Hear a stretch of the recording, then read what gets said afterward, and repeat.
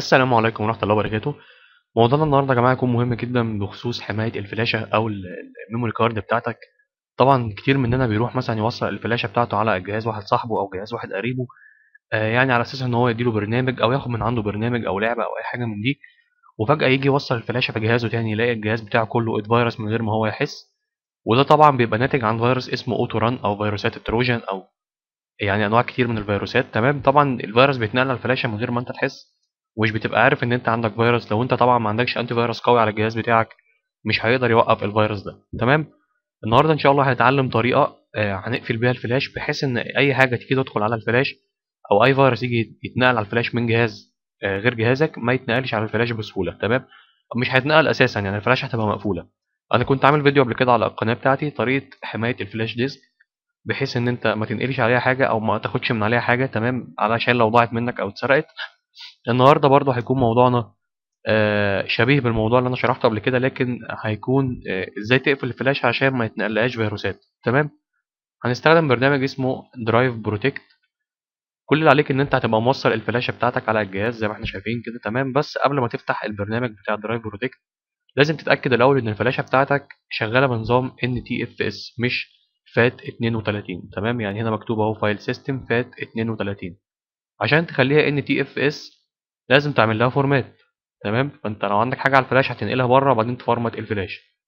هتيجي هنا click يمين على الفلاش وتعمل format تمام؟ وتختار من هنا آه، NTFS أول واحدة. بعد كده تقول له start okay؟ وتستنى لحد ما يعمل format للفلاشه خلاص هنا قال لك format complete يعني عمل format للفلاشه بقت بصيغة NTFS لو رحنا على click عليها click يمين وعملنا properties هتلاقي إن الفلاشه بصيغه NTFS تمام؟ دلوقتي لو أنا رحت مثلا أخدت أي file مثلا أخدت مثلا folder البرنامج ده أخدته copy تمام؟ ورحت أحطه على الفلاشه هيتحط معايا عادي من غير أي مشاكل. نزل أهو. تمام؟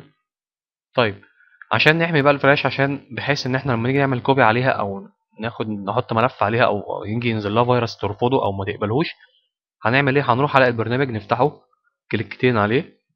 تمام؟ هيفتح معانا زي ما إحنا شايفين. آه كل اللي عليك إن أنت تيجي هنا تختار الفلاشة بتاعتك هيكون هو قاريها تمام؟ هي إيه؟ NTFS تمام؟ وهندوس على start protection أو بدء تمام؟ هنلاقي إيه؟ ابدأ الحماية. هندوس عليها. خلاص قال لك operation complete تمام كده؟ بعد كده تقول له okay وهتقفل البرنامج. لو رحنا دلوقتي مثلا عملنا file جديد أي مثلا ملف وجينا مثلا ناخده cut ورحنا على الفلاش عشان نحطه تمام؟ زي ما انت شايف هنا قال لك access denied رفض إن هو يعمل copy أو نسخ على الفلاشه تمام؟ لو دوست try again برده مفيش أي فايدة. لو اتشقلبت على راسك كده برده مش هينزل لك الملف على ال- الفلاشه بتاعتك طبعا زي ما إحنا شايفين برده هنا نزل لنا فو- folder اسمه unprotected. ده, ده بيبقى خاص بالبرنامج. حتى لو انت مسحته من على الفلاشه هتفضل الفلاشه محمية زي ما هي. تمام؟ اذا دلوقتي انت لو وصلت الفلاشه على جهاز كمبيوتر غير جهازك والجهاز ده عليه فيروس وحاول يتنقل على الفلاشة الفيروس مش هيدخل على الفلاشة زي ما إحنا شفنا بيبقى عامل له access denied تمام؟ عشان توقف ال- ال- ال protect أو الحمايه عن الفلاشه بتروح تفتح البرنامج تاني. تمام؟ وبعدين بتدوس على كلمة إيقاف أو stop protection هنا قال لك برضه complete successfully خلاص. تمام؟ لو رحنا دلوقتي خدنا الملف ده cut ورحنا على الفلاشة وحطيناه هنا هينزل عادي زي ما إحنا شايفين أهو نزل تمام؟ أتمنى يكون الموضوع سهل وبسيط بالنسبة لكم. طبعا البرنامج ما تنسوش إن هو مترجم من يعني ترجمة حصرية أنا اللي مترجم أنا اللي معربه. تمام؟ آه، الملف ده ما ما تمسحوش من البرنامج. يعني خليه دايما معاك جنب البرنامج عشان هو ده اللي بيبقى جواه اللغة بتاعة البرنامج.